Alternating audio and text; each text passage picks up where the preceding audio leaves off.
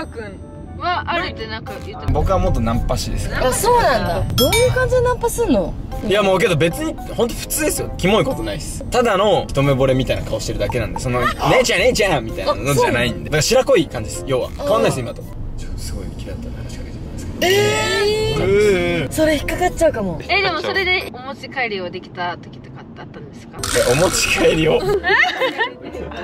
なんかその誘いで一緒にご飯に行けたりとかっていう。あるよね。あるんだ。ナンパ難しかったです。僕一回だけやったことあるんですけど。嘘。ああそうだ。あっちゃんのこと俺連れてった一回だけやってみました。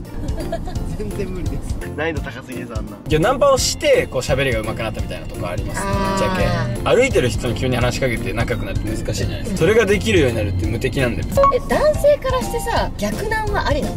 いやありがたいですね。めちゃくちゃ。めっちゃ嬉しいですよ。それこそ街にナンパしに出るじゃないですか。やっぱ男がするものなんでなかなかされないですけどすっごいたまに逆難されて超嬉しいですね逆なんてどんな感じで声かけてる逆難はほぼほぼ酔ってますね相手。あそうなんだ。それでなんかすごいタイプだなとかだったら連絡先交換はしたりしますね。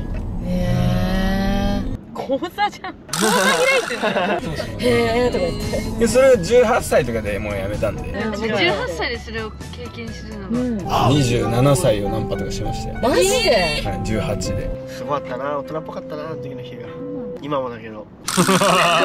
激励してる大好きじゃんめっちゃ。